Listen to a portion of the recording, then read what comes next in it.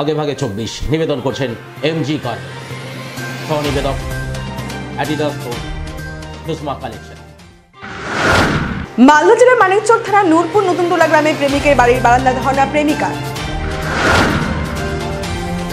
ডিএসওর পক্ষ থেকে বিক্ষোভ মিছিল এবং পথ অবরোধ মাথা ভাগায়।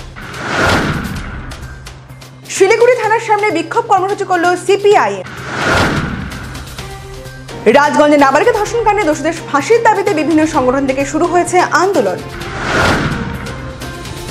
ঝাড়খণ্ড দিশম পার্টির চৌত্রিশ নম্বর জাতীয় সড়কে অবরোধ ঘিরে উত্তেজনা মালদার গাঁজলে ধুপগুড়ি গ্রামীণ হাসপাতালে ডেপুটেশন দিল ডিওয়াইএফআই। তামাক নিয়ন্ত্রণ আইন নিয়ে জেলা স্বাস্থ্য দপ্তরের পক্ষ থেকে দিনভর অভিযান চলল ধূপগুড়ির শহর জুড়ে।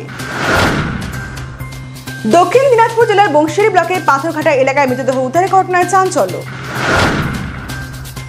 বালুঘাটের দক্ষিণ দিনাজপুর জেলা পুলিশ সুপার অফিস ঘেরাও করে বিক্ষোভ দেখালেন আদিবাসীরা। দীর্ঘদিনের দাবি মেনে পাকা রাস্তা কাজ সূচনা হলো ময়নাগুড়িতে। ছয় দফা দাবি নিয়ে রাজগঞ্জ গ্রামীণ হাসপাতালে ডেপুটেশনে ডিওয়াইএফআই রাজগঞ্জ শাখার। চোপড়া থানার লক্ষ্মীপুরে কংগ্রেস এবং তৃণমূল কংগ্রেসের মধ্যে সংঘর্ষের প্রধানের সহ জখম চারজন। ভারতের মেঘালয় ভিত্তিক অনলাইন জয় প্ল্যাটফর্ম শিলং তীরের বিস্তার করেছে বাংলাদেশে। নিজের জন্মদিনে রক্তদান শিবিরের আয়োজন করলেন স্বেচ্ছাপ্রতি কর্মী চিরঞ্জিত দাস।